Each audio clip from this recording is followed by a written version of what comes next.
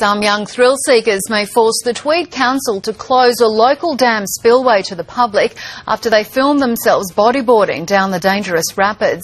The boys weren't hurt, but one of their boards was badly damaged. A councillor says they could easily have drowned and will refer the video to police. We'd be trying to um, have the full extent of the, the law put against these people to really use them as an example of what not to do. The spillway area is now closed for maintenance and may then be shut permanently.